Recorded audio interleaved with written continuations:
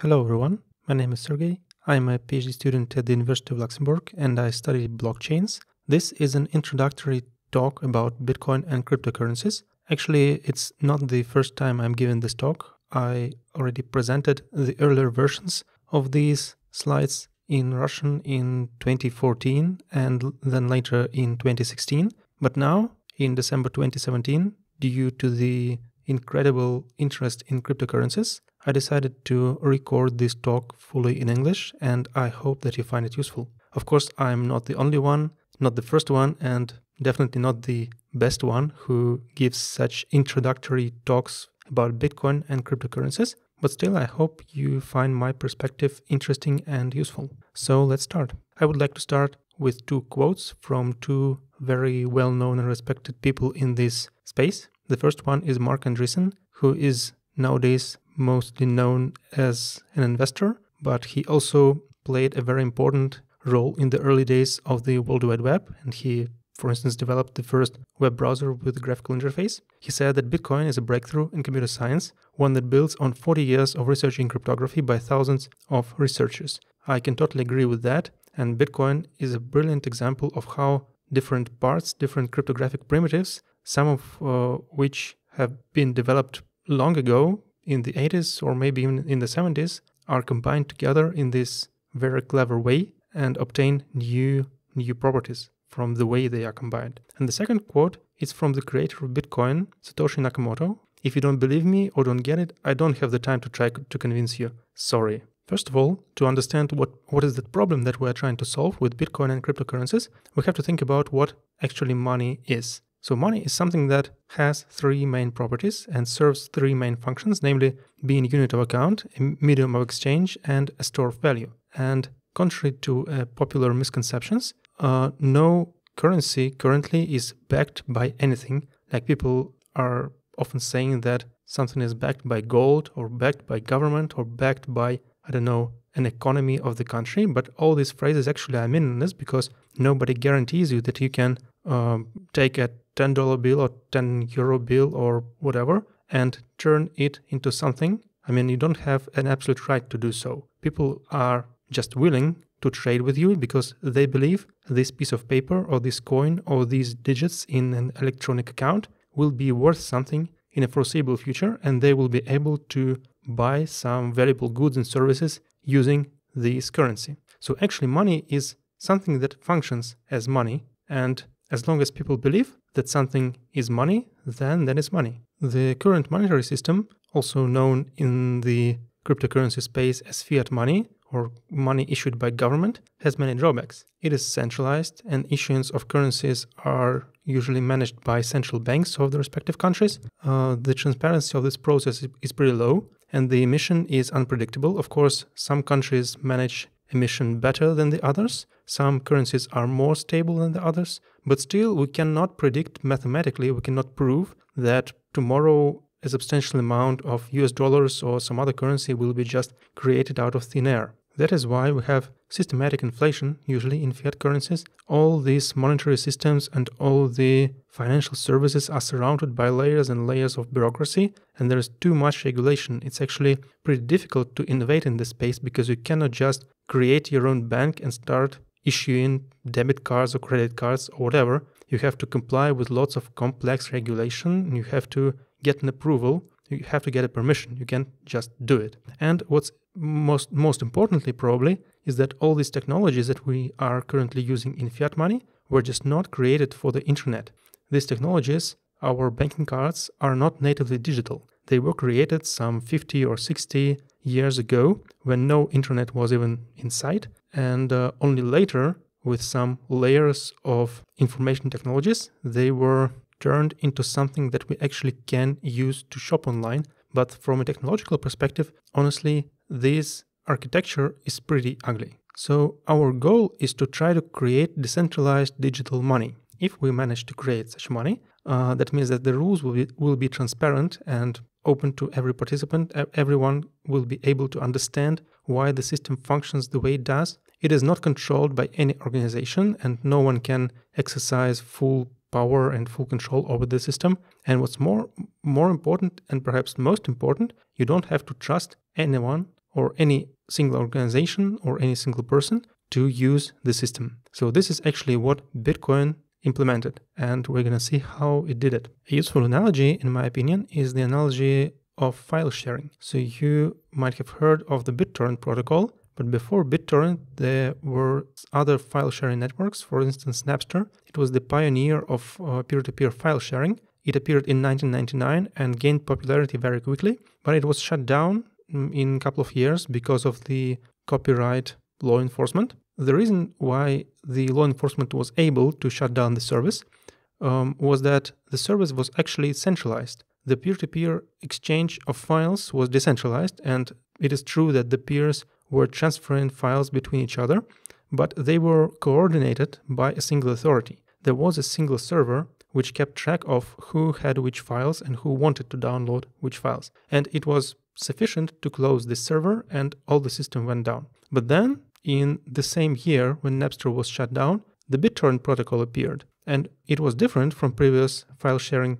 protocols because it was fully decentralized. Of course, you could create a website known as a torrent tracker and just create a catalog of torrent files, but the protocol does not require it. You can just handle torrent files privately by email or on some closed uh, web forum or just anything. The file sharing itself does not require you to coordinate your actions with any central authority. That is why the BitTorrent protocol, despite multiple attempts from law enforcement and again this copyright uh, claims and so on and so on, nobody was able to shut down this protocol completely. Of course, in the latest year years, it's not so popular as it used to be in early 2000s due to the uh, rise of streaming services and video sharing, video streaming and audio streaming. But nevertheless, the protocol itself couldn't be shut down. The same thing with money. There was this interesting project called called Liberty Reserve, uh, which provided some ways to exchange digital currency and uh, did not pay that much attention to the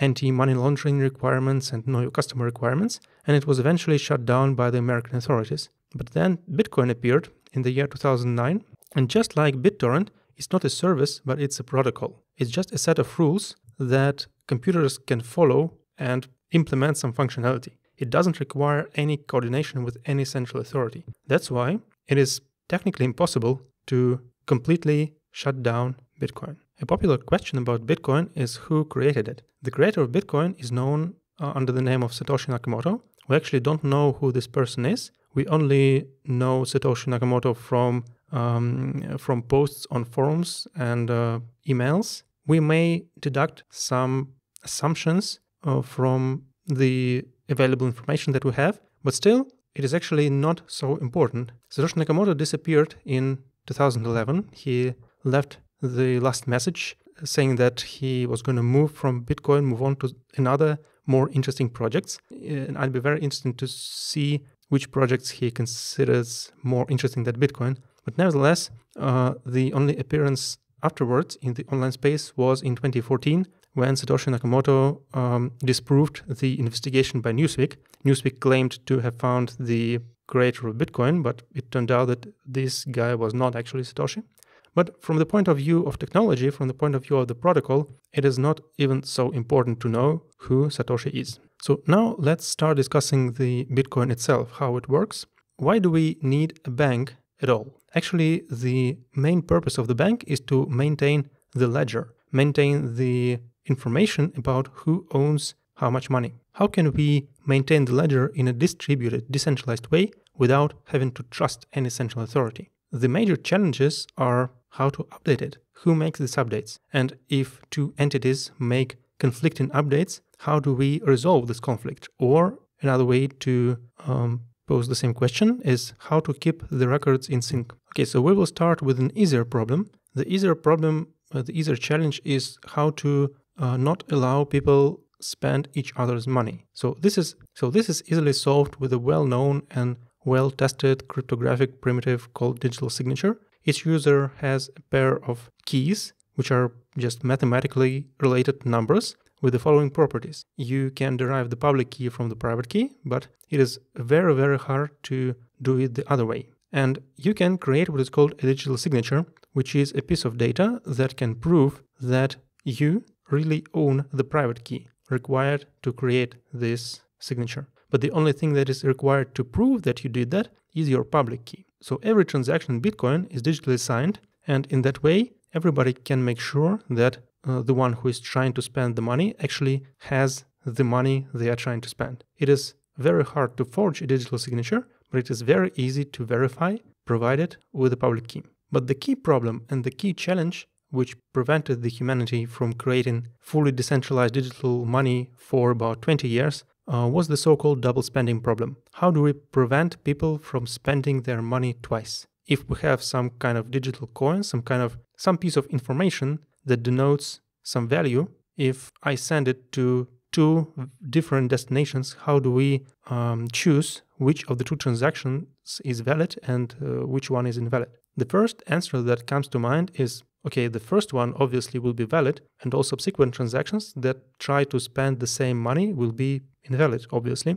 But the problem is that in a decentralized network, it is very hard to maintain the notion of time uh, because messages are propagating through the network unpredictably. They can be delayed, they can be dropped, and the malicious actors can forge timestamps, and we can't just trust the timestamps that someone is creating. That's actually the key challenge. And later we will see how Bitcoin solves this challenge in a very clever way. The ledger of Bitcoin stores transactions instead of balances. It doesn't store the balances themselves, uh, but your balance is calculated based on the transactions that transfer bitcoins to your address. Every transaction is checked for correctness by every participant, and you can track the origin of every bitcoin up to the creation, which we will discuss a little bit later. Transactions are combined into blocks, and blocks are chained together in a chain of blocks or the blockchain. Blocks are ordered chronologically. That means that all transactions in block number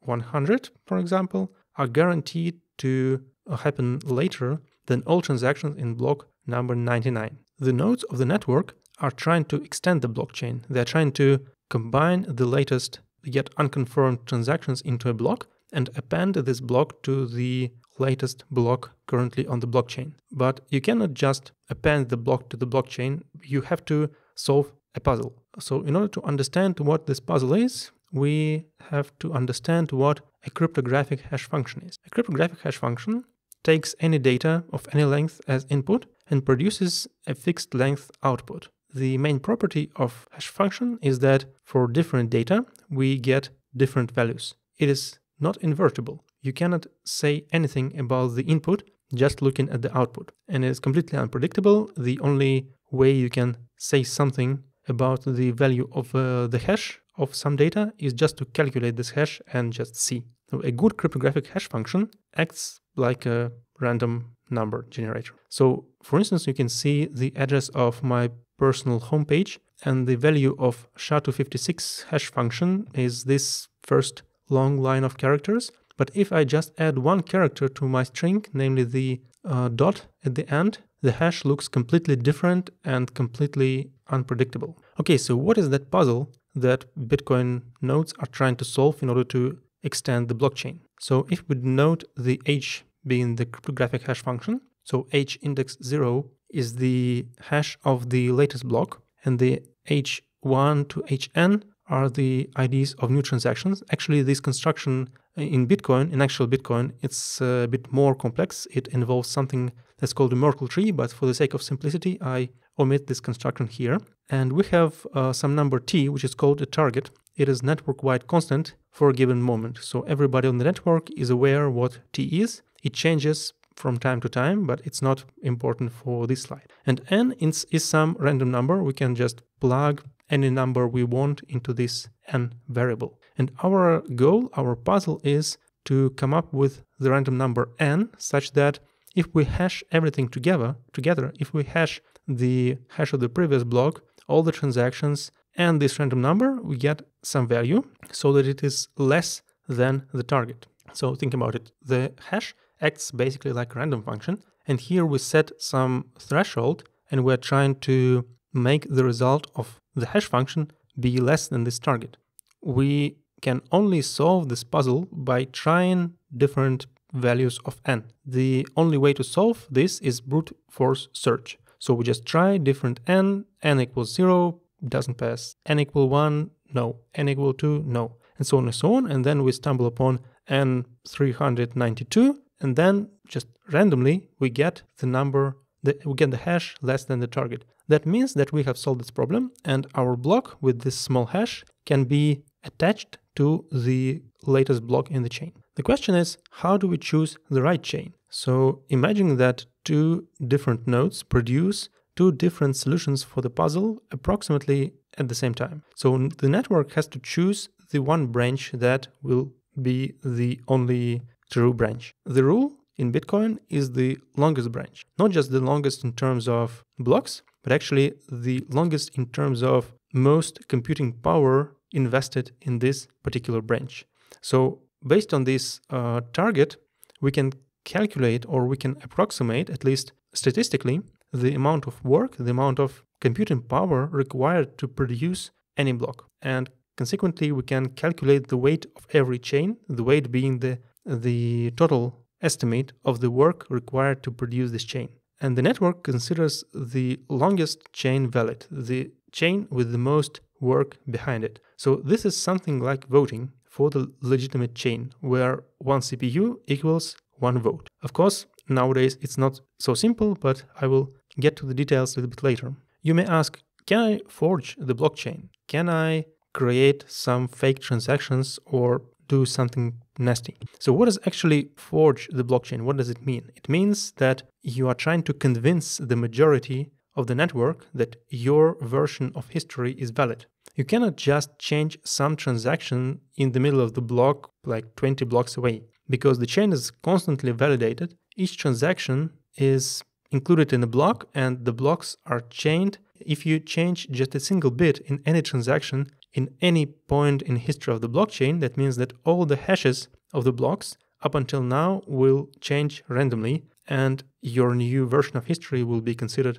invalid. The network will just ignore the falsified chain and continue with the longest chain. Okay, you may come up with a clever plan, which is the following. You buy something for Bitcoin, uh, you wait until you get the good you're buying, and then you create a new transaction which spends the same money but to another address, to your address, in fact. So you're trying to get the good and the money at the same time. You produce the blocks that confirm your version of history and you publish this alternative chain. And if you are lucky enough to convince the network that your chain is correct, that means that you have successfully performed this attack and you have the good and you have the money at the same time. Actually, in order to perform such attack, you have to control more than half of the total computing power of Bitcoin. This attack is known as 51% attack, and the goal of the attacker here is to uh, outpace the network and make all the network believe that this chain is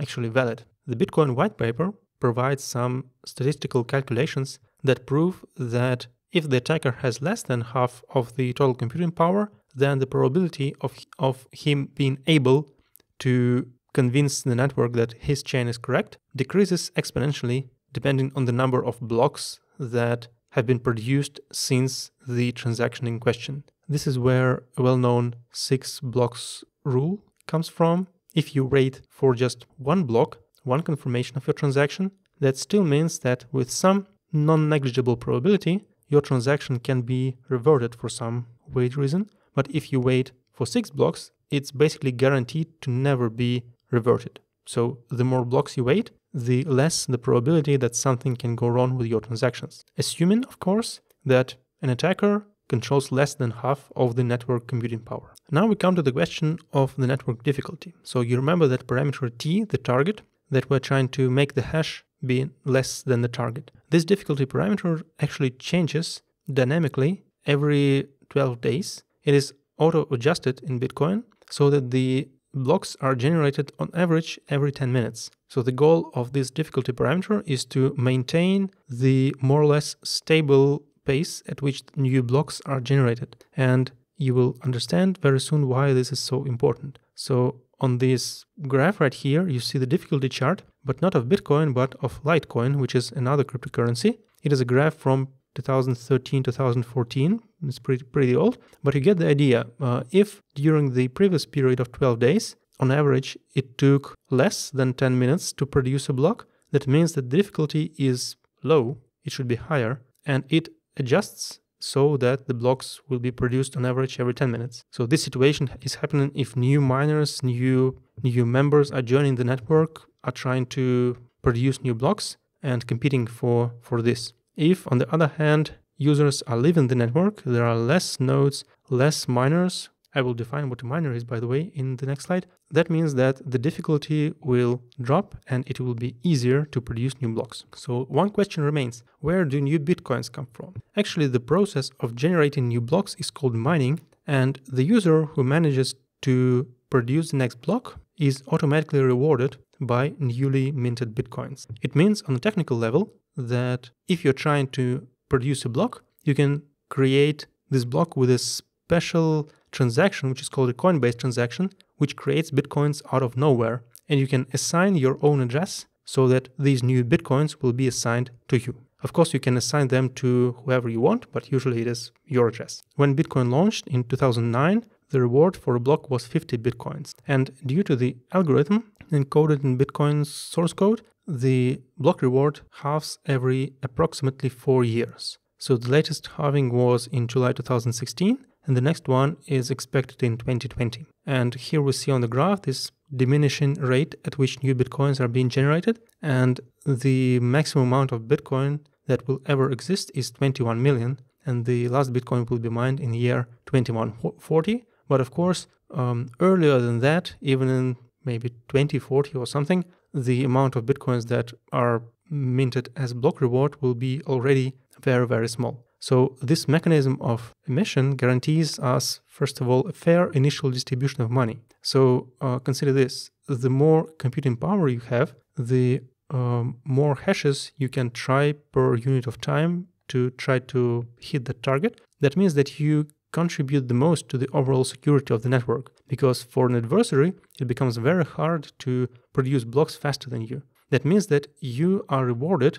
again on average, probabilistically, more than other participants. So this is this circular argument. The more you do for the network, the more the network rewards you. And on the other hand, the more secure the network is, the more your reward is actually worth. So this is this positive feedback loop that helped Bitcoin to be bootstrapped from basically nothing, from having the price of zero to the price of, at the time I'm recording this uh, screencast, about $15,000. Bitcoin is deflationary currency and systematic inflation is not possible because it is not possible to create bitcoins just out of thin air. Bitcoins are generated on a very predictable scale and you can say with certainty how many bitcoins there will be in existence 10 years from now, 20 years from now, even 100 years from now, which is absolutely un- unimaginable for any fiat currency. And the emission algorithm, as well as all other parameters of the network, are well, well known to all players. So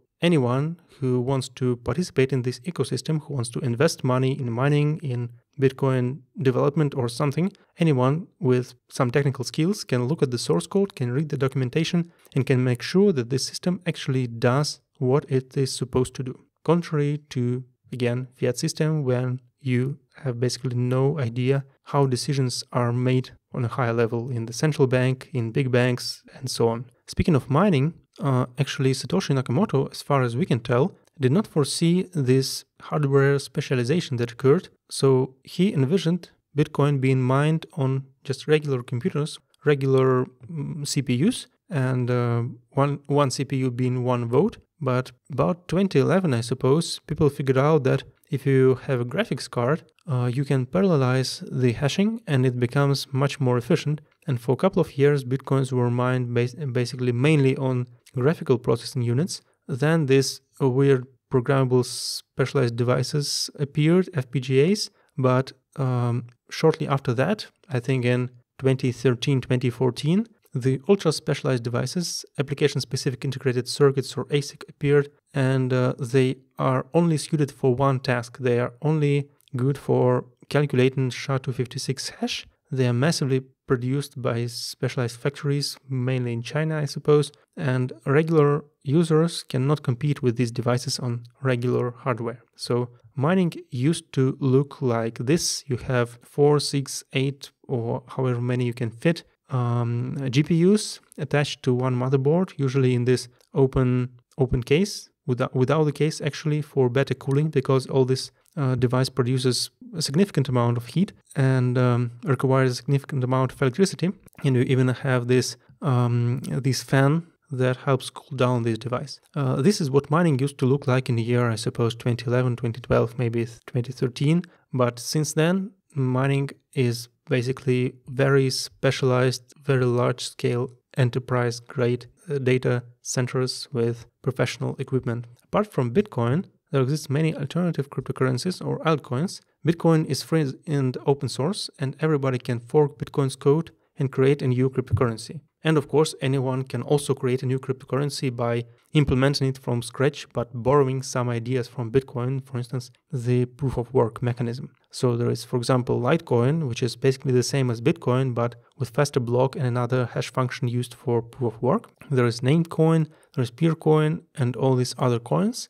Some of them are more interesting than others. Okay, summing up, what advantages do we have when we have Bitcoin and other cryptocurrencies? Uh, we have the natively digital money, and I think that's very, very important for the digital age when we have internet basically everywhere, affecting all aspects of our lives. Now we have the unit of account and medium of exchange and store of value that is native to this digital environment. It is basically the currency of the internet. It enables us to do fast cross border payments without restrictions you don't have to pay 20% fee for Western Union or other companies that do remittances or banks that close on weekends, which is just ridiculous in the digital age. But you can just transfer bitcoins anytime, any amount you want. You can create accounts without identity. You don't have to show your ID, your passport, or anything. You just download the software, you click a button, and you have an account. As simple as that. Nobody can freeze your account and nobody can reverse transactions if they happen and if they get confirmed by, say, six blocks after they happen. In the earlier version of this presentation, I had this other bullet points, for instance, low fees and micropayments. But now fees are actually so high due to the increased demands. Uh, you now have to pay dollars, maybe five dollars, maybe even ten dollars to do a transaction. And of course, it's not suitable for micropayments. Mm, but I hope this will change in the near future with some other more sophisticated scaling techniques. So, what's next for Bitcoin? The most important issue is, of course, scaling because the demand is very high and the blockchain, the Bitcoin blockchain, cannot accommodate all the transactions that um, users, that people all over the world want to make. So they have to pay high fees. And some of the solutions include, for instance, payment channels or side chains or some other techniques that would let us perform most of our transactions off the blockchain, but still with the guarantee that if something goes wrong, that if some party will try to cheat, another party will be able to enforce the agreement by, by a usual uh, Bitcoin transaction. That is very interesting uh, area of research, in my opinion, but we don't yet have a working payment channel network on any major blockchain. But uh, the research and the development is ongoing right now. There's also a privacy problem because all Bitcoin transactions are broadcast in plain text. Everybody can see how much money each account has. And uh, despite the fact that accounts are not connected to any identity, if I obtain the, uh, the, the this connection from other third sources, from I don't know some um, exchange uh, database or some other leakage, that means that I will be able to track some other person's financial flows on the blockchain. And there are alternative blockchains. For instance, there is Zcash cryptocurrency. There are others, for instance, Monero and Dash, which use sophisticated cryptography to provide privacy. Of course, uh, apart from that, we have the UI slash UX problem for people uh, who are not so familiar with technologies. It might be very hard to understand the mechanics behind Bitcoin, and the wallets are not so user friendly yet as they probably should be though progress is being made. Um, there is also the problem of exchanges. If you want to buy or sell cryptocurrency, if you want to exchange uh, one cryptocurrency for another, you have to usually register uh, with an exchange and you have to trust them basically not to run away with your money or not to get hacked so the hackers can run away with your money. And technically, it should be possible to implement totally decentralized exchanges that would operate on the blockchain so that you could atomically swap mm, some amount of cryptocurrency A for some amount of cryptocurrency B. but uh, still we don't have a working solution. Uh, and some other directions such as digitally controlled property, integration with cell phone networks, and so on and so forth. Basically, when we have digital programmable money, uh, the opportunities are endless. Of course, I must dedicate a separate slide to the open blockchain number two, namely Ethereum. It is a smart contract blockchain. It was designed and proposed by Vitalik Buterin, and uh, they did a, uh, the uh, fifth biggest crowdfunding at the time, raised about $18 million in 2014. So their idea is to create a blockchain with a Turing-complete virtual machine so that people could write smart contracts and implement just arbitrary functionality that would be executed on the blockchain exactly as it is programmed, completely trustlessly. So there is this code that lives on the blockchain. you don't have to trust anyone to run your code. The, the, the miners actually, the nodes run your code and they can only execute the code as you wrote it. Ethereum launched in 2015 and uh, as of uh, late 2017, by basically all relevant metrics, it is the blockchain number two after Bitcoin by market capitalization, by difficulty of mining, by general interest. This is a very exciting development, and I'm also doing research partially in this area. So, to summarize, why is it even possible? What made Bitcoin possible? First of all, as I mentioned uh, on one of the previous slides, it's years and years or even uh, decades of researching cryptography and distributed systems. Uh, but also, it's important that um, after Bitcoin was created, uh, it was created from day one as an open protocol and as free software. It's free and open source. That means that anyone can look at the code, can modify the code, can propose some changes, and uh, these ecosystem that emerged, this blockchain blockchain uh, space, so to say, provides many new possibilities. It is very easy to join. You have to just download some software, learn to code smart contracts, or learn to program some blockchain facing applications. You don't have to get anyone's permission. You can just start right away. Bitcoin is a platform for innovation, and I should maybe say even in in broader terms, blockchains are platforms for innovation just like the internet. So I encourage you to pick some blockchain that you like, be that Bitcoin, Ethereum, or some other blockchain, study it, and maybe join the community, propose your ideas, or implement some exciting new project using these new technologies. So here is the last slide. And if you're interested in uh, my research, in what I do, feel free to visit my personal homepage you will find links to my academic papers, to my talks at conferences, to a podcast that I host. If you're a Russian speaker, I host a podcast about blockchain in Russian and some other links to my social media accounts when you, where you can uh, get in touch with me. So I hope this talk was interesting and uh, useful. If you are a newcomer to the Bitcoin slash blockchain space, welcome. I encourage you to learn more and uh, good luck with exploring this exciting and uh, fascinating field. Bye bye.